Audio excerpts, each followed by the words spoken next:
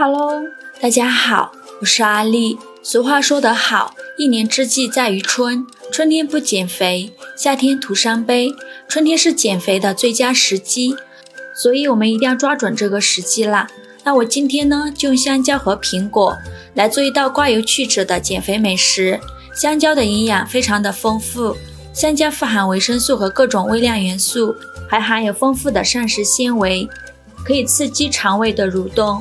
香蕉的消化吸收良好，而且还能长时间的保持能量。苹果呢被称为果中之王，它的营养也是非常的丰富，富含多种维生素、有机酸和膳食纤维，而且苹果的热量非常的低，每一百克苹果只有五十二大卡，摄入人体之后呢不会导致肥胖，而且还可以分解体内多余的脂肪，起到减肥的作用。我们先把苹果清洗一下，准备一盆清水，往里边加入一勺食盐。食盐呢有杀菌消毒的作用，再加一勺小苏打，小苏打有很强的去污能力。接着把苹果放入盐水中，把苹果清洗干净。我们都知道瓜果蔬菜少不了打农药，如果不清洗干净就食用的话，对人体健康会造成影响。苹果皮的营养比果肉的营养更加丰富，所以我们在吃苹果的时候呢，切记不要去皮啦，只要把它清洗干净就可以啦。洗净后呢，给它控水捞出，再把它放入另外一盆清水中，给它多清洗几遍。洗净后再给它控水捞出，把苹果放到面板上，把苹果对半切开，再给它分成四份。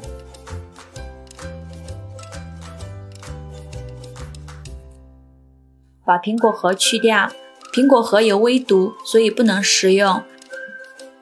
接着，我们把苹果切成薄片。苹果可是一宝，有句老话是这样说的：“一天一个苹果，医生远离我。”苹果的营养价值很高，富含矿物质和维生素，含钙量也是非常的丰富，有助于代谢掉体内多余的盐分。苹果霜可以代谢热量，防止下身肥胖。切好之后呢，把它放入清水中泡着备用，防止氧化变黑。这会儿我们再来处理一下香蕉，把香蕉皮剥掉，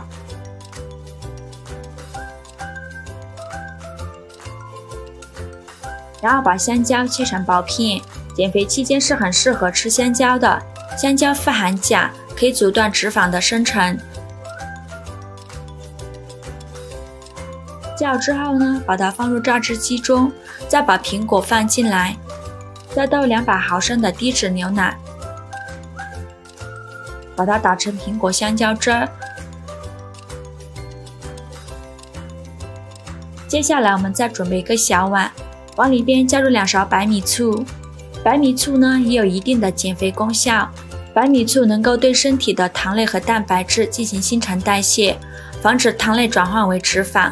从而达到一个减肥的效果。然后把苹果和香蕉汁倒入小碗中，往里边加入两勺蜂蜜。蜂蜜含有丰富的膳食纤维，能够促进肠胃蠕动，帮助排便，还有杀菌消毒的作用，可以有效的减少体内毒素的堆积引起的臃肿型肥胖。用勺子搅拌均匀，搅拌至蜂蜜完全化开。像这样一道非常好吃的刮油去脂美食就做好了。每天早晨空腹喝上一碗，睡觉前再喝上一碗，这样坚持一周就能看到明显的效果。而且它的口感呢是酸酸甜甜的，特别的好喝。减肥期间除了吃一些低脂餐外，还需要管住嘴，迈开腿，这样就能很快的瘦下来了。喜欢的朋友就赶快收藏起来试试吧。喜欢我的视频就关注我吧。我是阿丽，谢谢您的支持。Hello，大家好，我是阿丽，又到了吃菠萝的季节了。菠萝果形美观，汁多味甜，有一种特殊的香味，深受人们的喜爱。今天呢，我就分享一个菠萝非常好吃的做法，加三个鸡蛋，不用炒，不油炸。那一起来看看我是怎么做的吧。首先，我们准备三个鸡蛋。将它打入大一点的碗中，加入五十毫升纯牛奶，再加四克酵母，加三十克白糖，促进酵母发酵。喜欢吃甜的可以多放一点。用筷子搅拌均匀，搅拌至酵母溶解。搅匀后呢，加入三百五十克高筋面粉，再加少食盐，增加面粉的筋性。用筷子搅拌均匀，搅拌成这种面絮状。再加十五克黄油，没有黄油的可以换成玉米油。接着再下手揉成光滑的面团。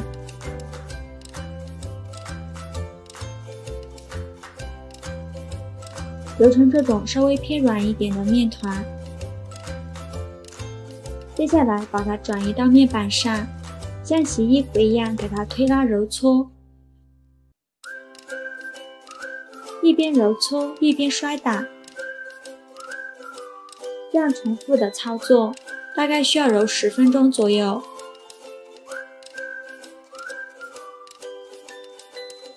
直到拉开有一层这样薄薄的膜就可以了。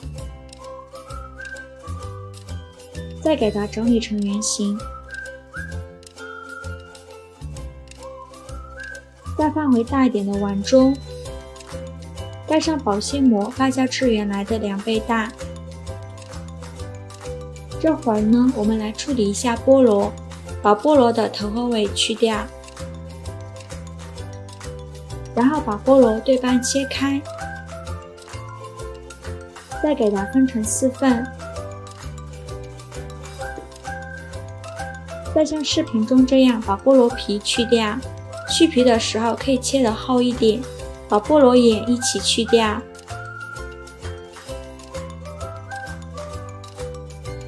像这样子就可以啦。全部处理好以后，把菠萝放入清水中，把菠萝清洗干净。洗净后呢，给它控水捞出，再把它放到面板上。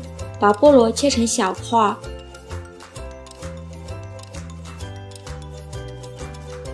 加好之后呢，把它装入绞肉机中，把菠萝打碎，也不用打得太碎了，有点颗粒感会更好吃。打好后呢，把它倒入各粘锅中，像这样子的颗粒感就可以。再加入六十克冰糖，也可以换成白糖，开中火慢炒。炒的过程中要不停的翻动，把菠萝的水分炒干，搅成这个样子就可以。像这样，我们的菠萝酱就做好了。把它盛出来，装入碗中备用。现在我们的面就已经发酵好了，体积已经变大很多，里面呈蜂窝状。面板上撒一些干面粉。把面团放到面板上，再给它好好揉一揉，拍拍气。再给它搓成长条，然后分成七到八个大小均匀的小面剂。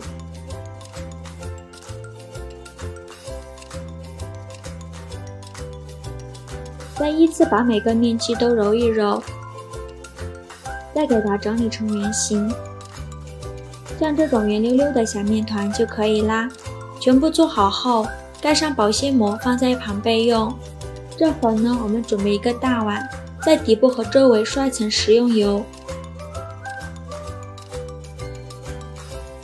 然后我们取一个面团放到面板上，用手轻轻按扁，再用擀面杖给它擀成和包子皮一样厚的面片，像这样子就可以啦。接着再舀一勺菠萝酱，把它放到面片上，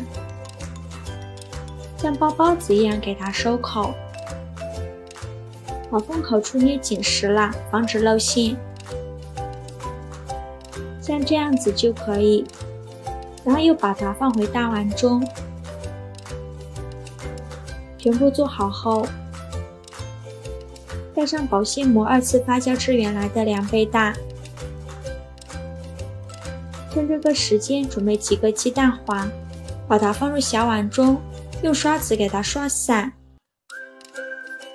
这会我们的面就已经发酵好了，体积已经变大很多。接着在表面刷层蛋黄液，再撒一些白芝麻点缀一下，像这样子就可以。盖上耐高温的保鲜膜，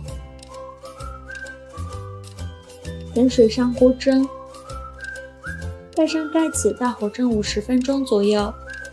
时间到，关火焖五分钟后再打开盖子，哇，好漂亮啊！表面金黄色的。再把它取出来，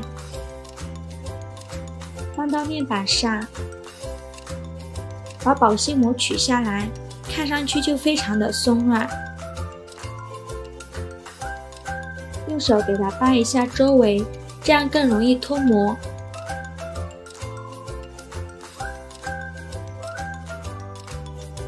底部也是非常的漂亮，看一下，非常的松软，按下去就立即回弹了。